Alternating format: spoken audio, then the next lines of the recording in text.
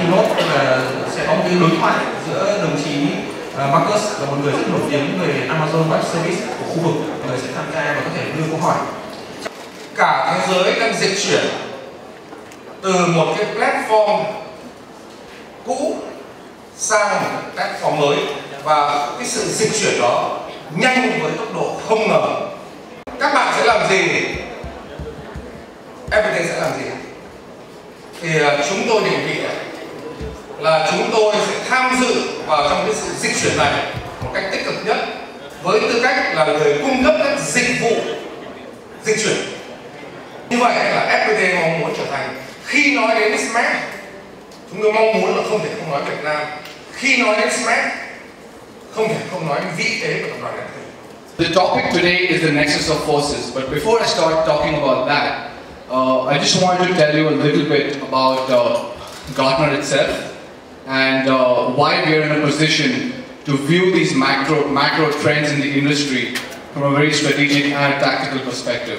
Mỗi 10 năm như vậy, ông Elvin Toffler viết lại cuốn sách thép để review lại 10 năm qua đó là thay đổi như nào, gì là hiện thực, những cái gì chưa là hiện thực và sẽ là hiện thực trong 10 năm tới.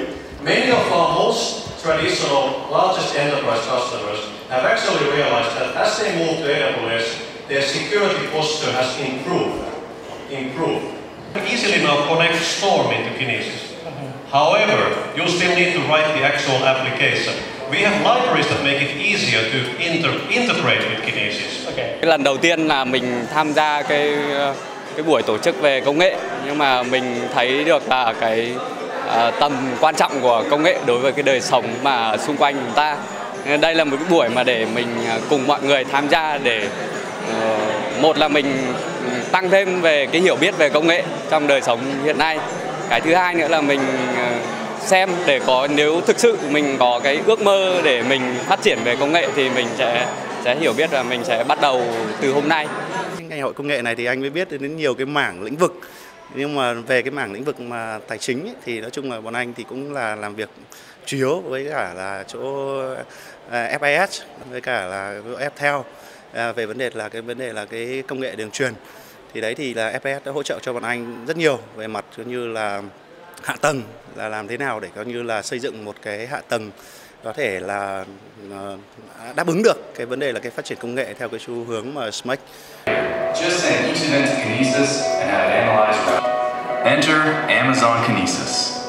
Kinesis makes it easy to set up extremely high capacity pipes, which can collect and analyze your data in real time.